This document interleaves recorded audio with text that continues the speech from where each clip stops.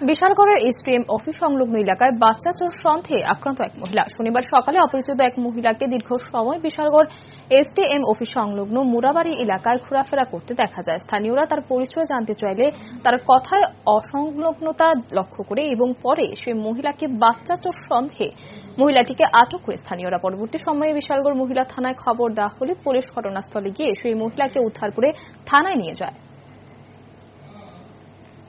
কি ধরা হয়েছে? এখানে কি হয়েছে?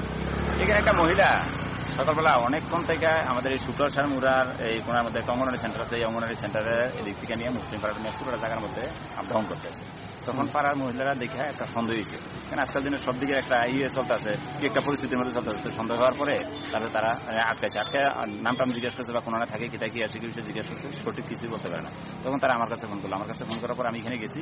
যাওয়ার পরে দেখলাম যে ঠিক এই মহিলাটা, তখন আমি জিজ্ঞেস করলাম, জিজ্ঞেস করার পরে কিছু বলতে পারে না।